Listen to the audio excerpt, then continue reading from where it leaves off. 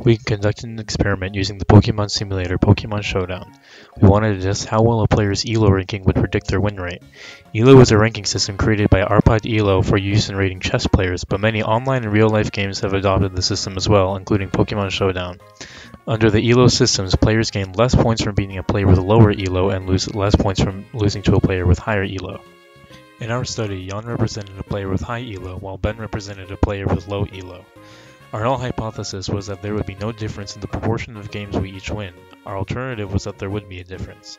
Note that these rankings are from our main accounts, as we made new accounts to carry out the experiment. To ensure random assignment in our experiment, we chose pairs of players with a random number generator from the player list and flipped a coin to decide which player Ben and would challenge to a battle. Some players had refused our challenges, which explains the slight difference in the size of Ben's samples. The data we obtained yielded a p-value of 0.923 for a two-tailed two-proportion z-test. We checked that all conditions were met.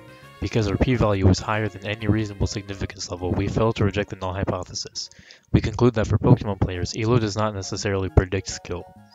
So if ELO doesn't predict skill, what sort of rating does? The Glicko rating system, invented by Mark Glickman for chess, is one of the best ratings for this purpose.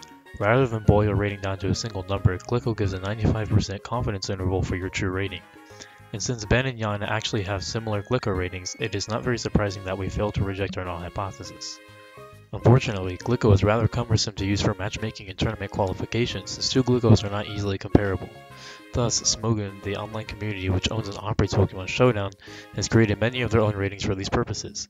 ACRE is the 8th percentile of a player's rating distribution based on their Glicko rating, so we are 92% confident that any random player is better than their ACRE. It was scrapped because players can get ACRE rating after losing a battle.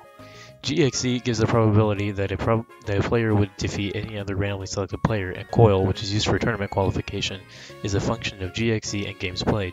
Notice that our GXEs predicted that we would win a higher proportion of games than we actually did. This is likely because the team we used was not very good, causing us to lose games we would have normally.